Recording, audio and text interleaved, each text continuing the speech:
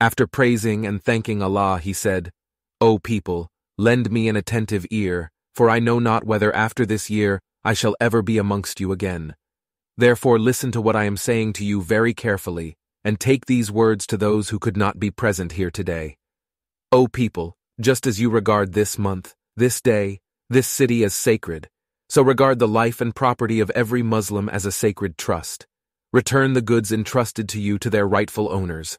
Hurt no one so that no one may hurt you. Remember that you will indeed meet your Lord, and that he will indeed reckon your deeds. Allah has forbidden you to take usury, interest. Therefore all interest obligation shall henceforth be waived. Your capital, however, is yours to keep. You will neither inflict nor suffer any inequity.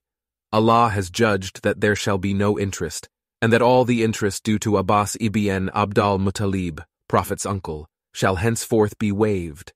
Beware of Satan, for the safety of your religion.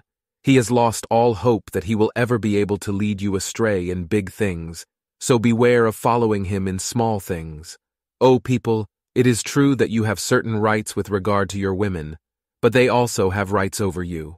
Remember that you have taken them as your wives only under Allah's trust and with His permission. If they abide by your right, then to them belongs the right to be fed and clothed in kindness. Do treat your women well and be kind to them, for they are your partners and committed helpers. And it is your right that they do not make friends with any one of whom you do not approve, as well as never to be unchaste.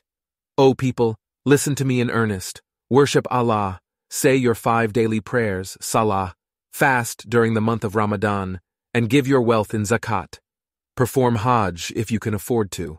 All mankind is from Adam and Eve. An Arab has no superiority over a non-Arab, nor a non-Arab has any superiority over an Arab. Also a white person has no superiority over black person, nor a black person has any superiority over white person except by piety and good action. Learn that every Muslim is a brother to every Muslim and that the Muslims constitute one brotherhood. Nothing shall be legitimate to a Muslim which belongs to a fellow Muslim unless it was given freely and willingly. Do not therefore do injustice to yourselves.